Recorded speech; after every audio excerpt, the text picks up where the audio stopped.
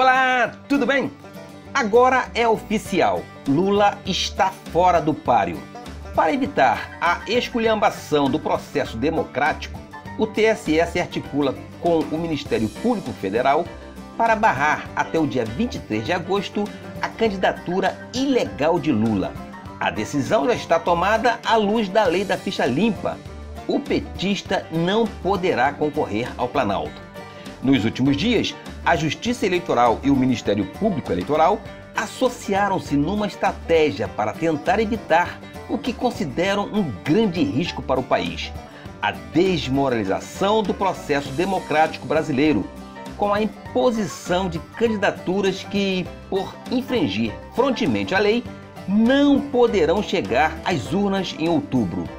O conceito se aplica a todos os candidatos, mas carrega em seu bojo um objetivo principal: evitar a candidatura ilegal de Lula, o bandidão da propina, preso na sede da Polícia Federal em Curitiba. O potencial de estrago de Lula é considerado maior por suas características bem peculiares. Mesmo preso, inapelavelmente condenado em duas instâncias por crime de corrupção, o petista aspira à presidência da República. Convencido de sua influência sobre o PT, da salacela de 15 metros quadrados, Lula segue como uma espécie de morubuxaba da legenda a orientar advogados e militantes a promover, sem qualquer pudor, chicanas das mais variadas, a fim de prolongar ao máximo a áurea de candidato que orbita em torno dele. Com ao menos três integrantes da Corte Eleitoral, o tribunal, com o apoio do Ministério Público Eleitoral, está convencido de que Lula não pode ser candidato e julgará nessa direção, impugnando a candidatura, sem dar margem para o contorcionismo da lei. O que tanto o TSE como o Ministério Público Eleitoral estão determinados a fazer agora é antecipar ao máximo essa decisão. A ideia de membros do Tribunal Eleitoral é que até o fim de agosto Lula esteja oficialmente impedido de concorrer ao Planalto, de modo que ele não chegue sequer a aparecer na tela de propaganda eleitoral, marcada para começar no dia 31. Um candidato que não pode ser eleito não pode concorrer, afirmou o presidente do TSE, o ministro Luiz Fux. A inegibilidade de Lula é chapada. A expressão chapada é usada no meio jurídico para definir, sem revisão, consolidada. Veja como se dará essa impugnação. A estratégia está pronta para ser deflagrada a partir do momento em que o PT registrar oficialmente a candidatura. O partido realiza sua convenção no sábado, dia 4, em São Paulo. Pelo cronograma já estabelecido, o partido tem até dia 15 de agosto para fazer o registro, por meio eletrônico, em um sistema chamado Codex, até a zero hora do dia 15, ou presencialmente no TSE até às 19 deste mesmo dia. O TSE não tem dúvida, o PT vai usar a segunda opção. Na última hora, aparecerá no tribunal com a maior claque possível para transformar o ato em um evento político. Nesse mesmo momento, porém, o TSE já irá marcar a sua posição. É da competência do tribunal verificar administrativamente se as candidaturas cumprem os requisitos exigidos pela legislação.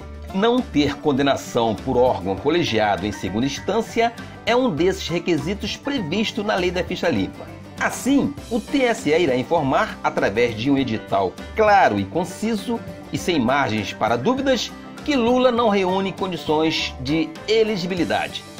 Se não for possível publicá-lo já no dia 15, por conta do horário, no dia seguinte não passará, garantiu uma fonte graduada do tribunal.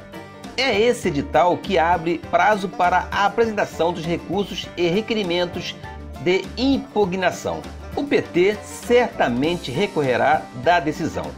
A lei lhe garante um prazo de cinco dias para isso.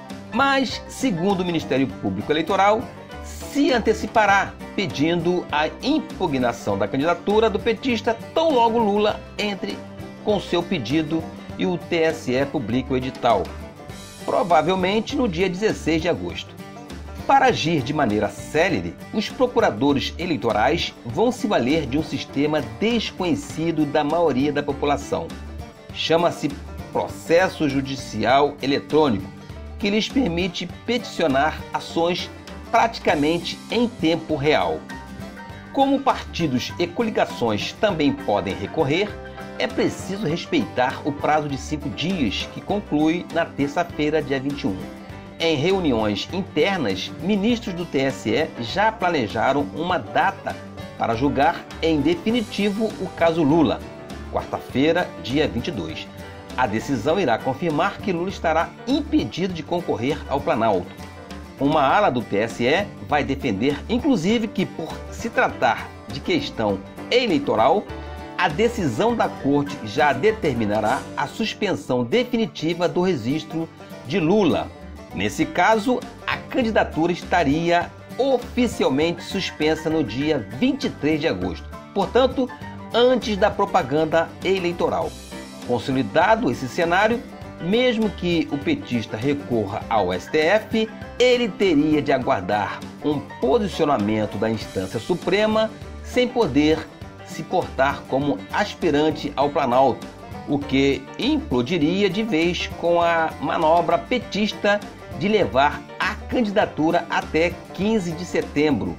Candidaturas sob júdice são aquelas cujas condições não estão claras do ponto de vista jurídico e precisam ser julgadas. Não é o caso de Lula, argumenta um integrante da corte. Portanto, meus queridos, acabaram-se as especulações em torno de uma possível candidatura desse vagabundo ao Planalto. É oficial, Lula está fora.